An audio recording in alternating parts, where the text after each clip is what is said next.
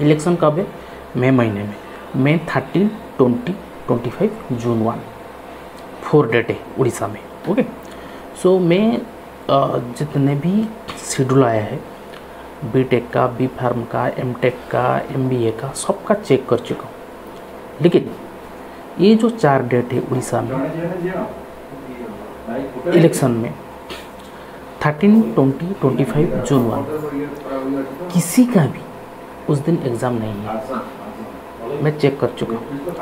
Thirteen twenty twenty five June one चार date पे ना बीटेक का ना बी फार्म का ना एमटेक का ना एमबीए का ना एमआर का ना बीआर का किसी का भी एग्ज़ाम नहीं है।